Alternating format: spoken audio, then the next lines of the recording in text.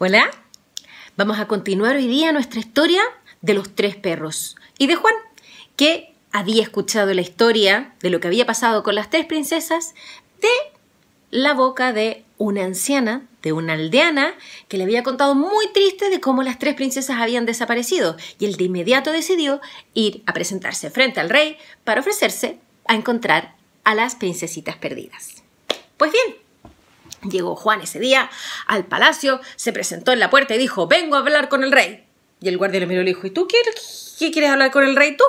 Vengo a buscar a las princesas. Eso es lo que quiero decirle al rey, que me voy a encargar de traerle a sus tres hijas perdidas de vuelta.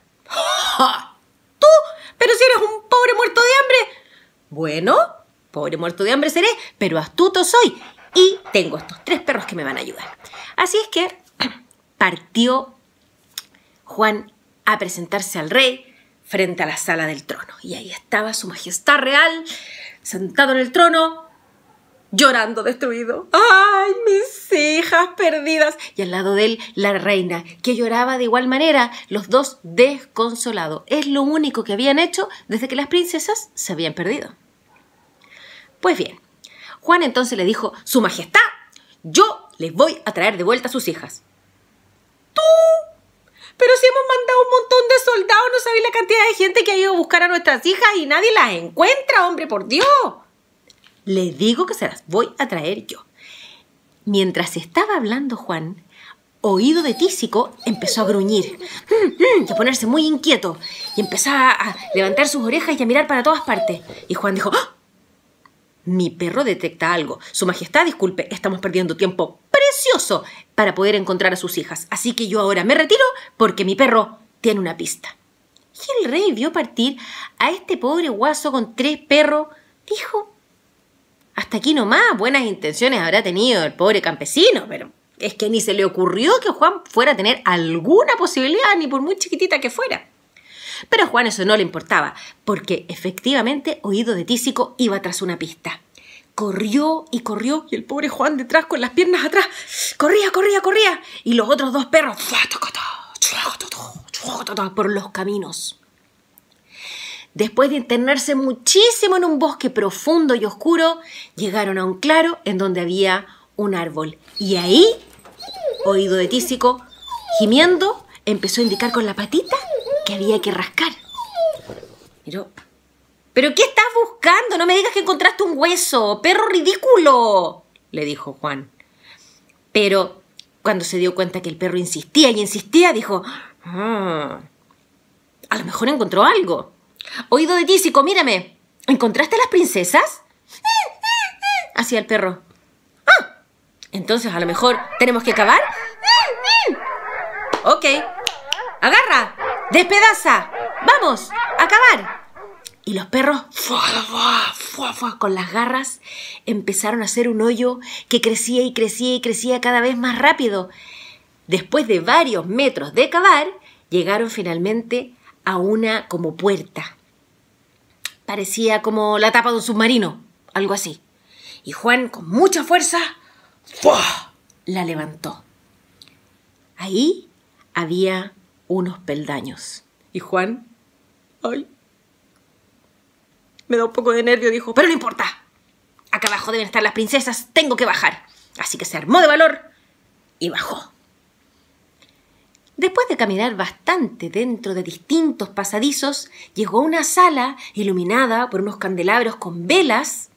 Había una mesa, había una silla y en ella estaba sentada una joven de increíble belleza. Una jovencita con ropa sucia y carita de haber estado llorando mucho. Pobrecita. Entonces Juan le dijo, Hola, disculpa, ¿tú sabes dónde estarán las princesas? Las vengo a buscar. ¿Tú? ¿Pero quién eres? dijo ella. Yo soy Juan y ando buscando a las hijas del rey, las que se las llevó el remolino. Yo soy una de ellas, yo soy una de ellas. Me llamo Rosa. ¿De verdad? Sí, en serio. Y me está custodiando un gigante enorme, terrible, caníbal. Le gusta comer carne humana. A mí no me ha comido yo creo que porque me encontró muy flaquita o porque soy la hija del rey. Pero yo creo que te puede pasar algo. Mejor huye. No, ¿cómo se te ocurre? Tengo a mis tres perros que son espectaculares. Tú tranquila, confía, confía, le dijo Juan. Así es que ahí estaban los dos conversando cuando oído de Tísico levantó las orejas y empezó... ¡Ay! Ahí viene, ahí viene. Me voy a esconder debajo de la mesa. Perros, escóndanse. Y los perros se escondieron detrás de la silla en la que estaba sentada Rosa. Ahí se escondió Juan debajo de la mesa y entró un gigante enorme, temible, así cada pie, así cada mano, una cara espantosa, pelado. Huelo a carne humana.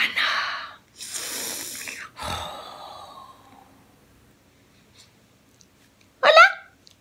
Debo ser yo, le dijo Rosa. No, Tú tienes un olor diferente. Tienes un olor como a... a jovencita muerta de miedo. Ay, ¿por qué será? dijo ella. Entonces él, sin perder la vista de lo que buscaba, de repente agarró la mesa, solo golpe, y ahí debajo estaba Juan.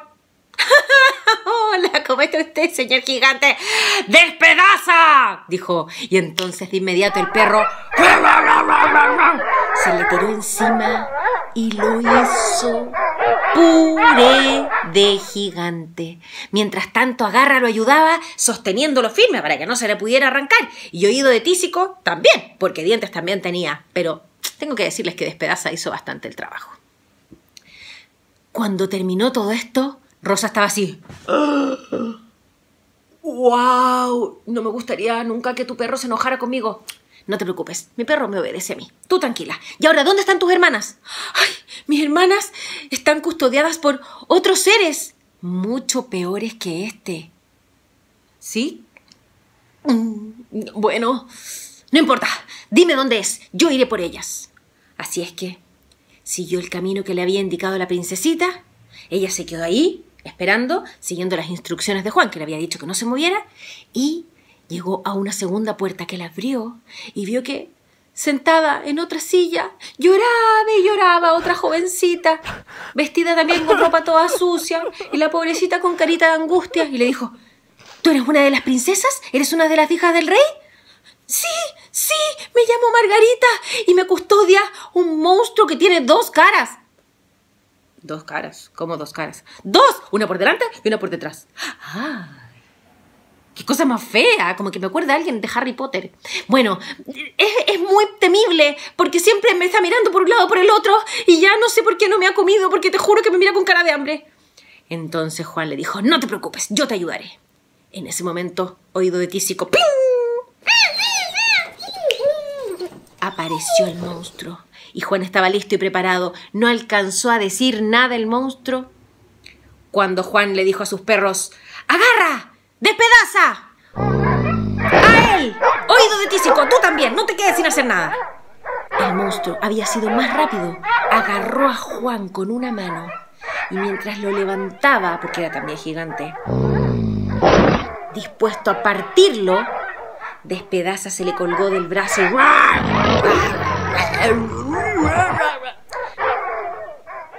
¿Para qué les voy a decir la carnicería? Horrible.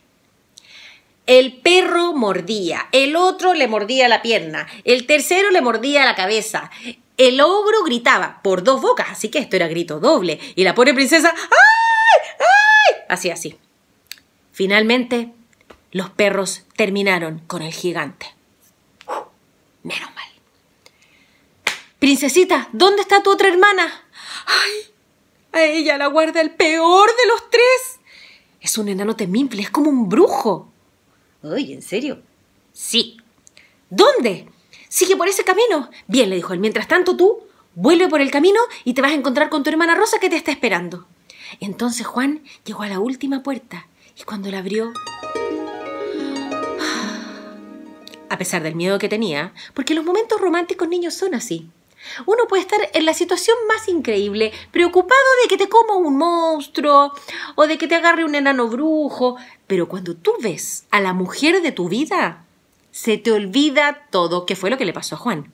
Vio a María, que era la princesita que estaba sentada ahí con su carita, y dijo, ay, me derrito, me muero, me mato, qué mujer más maravillosa. Y ella le dijo, ¡Ah! ¿y tú quién eres? ¿Qué estás haciendo aquí? Y él le dijo, soy Juan, soy un campesino y te vengo a liberar. ¿En serio? Gracias, pero no creo que te resulte. Espérate nomás, tú confía. En ese momento apareció el enano y ahí aparecieron también los tres perros, que se le tiraron encima y lo hicieron reventar. Y cuando les digo reventar, es literal, explotó como un globo. Hizo. El único problema cuando uno hace explotar un enano brujo es que quedan los pedacitos como colgados del techo, de las murallas. Era asqueroso. Así que la princesa hizo. y Juan hizo. y los perros hicieron toda la razón. Volvieron todos caminando. Juan miraba a María así. María miraba a Juan así.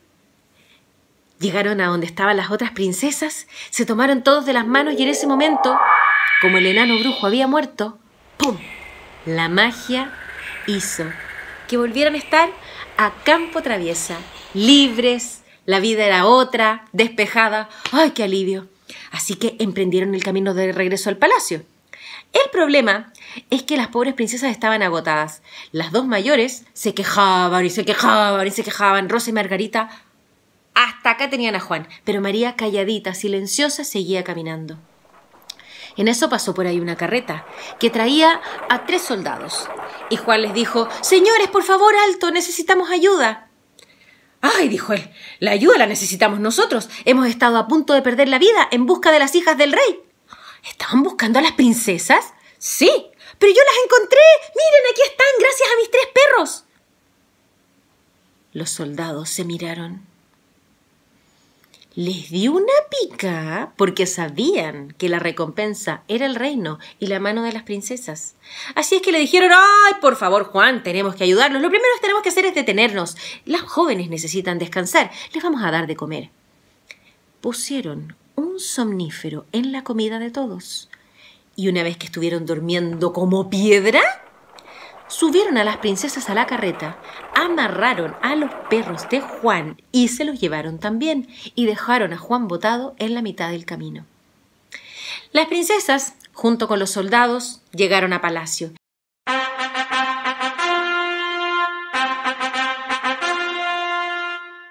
Y ahí el rey, cuando los vio llegar, ya las princesas habían despertado del sueño eh, del remedio que le habían puesto, cuando vieron a los soldados, pensaron que Juan era muy poquita cosa, dijeron las dos mayores, y le dijeron al rey, ay, sí, papá, en realidad ellos nos liberaron.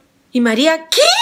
Mentirosa, no es verdad. Papá, nos, nos, liberó Juan, que era un campesino que tenía tres perros. El papá dijo, ay, por favor, hijita, por favor, ¿por qué dice esas cosas? Pobre criatura, debe ser el trauma. Sí, dicen que hay una cosa que se llama estrés post-traumático. Yo creo que le pasa eso. Nadie quiso hacerle caso a María, y el rey dictaminó que sus hijas se casarían con los tres soldados. ¡Qué injusto! Mientras tanto, el pobre Juan, tirado en la mitad del campo, despertó y no recordaba exactamente qué es lo que había pasado.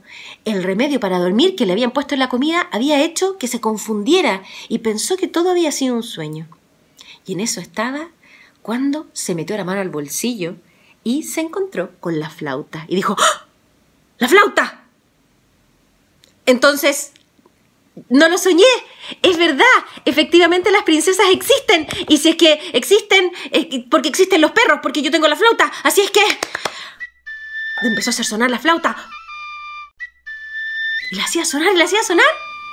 Y los perros, desde lejos, que ya también habían despertado de su sueño, Volvieron corriendo, corriendo, corriendo donde Juan, que estaba muy lejos, así que el pobre pensó que era simplemente, en algún momento, una flauta cualquiera, hasta que sintió como sus perros, ¡pum!, se le tiraban encima y le langueteaban la cara y él, ¡ay, mis perritos preciosos, vengan para acá! Le rascó la cabecita detrás de las orejas como sabía que le gustaban sus perritos y entonces llegaron corriendo a palacio.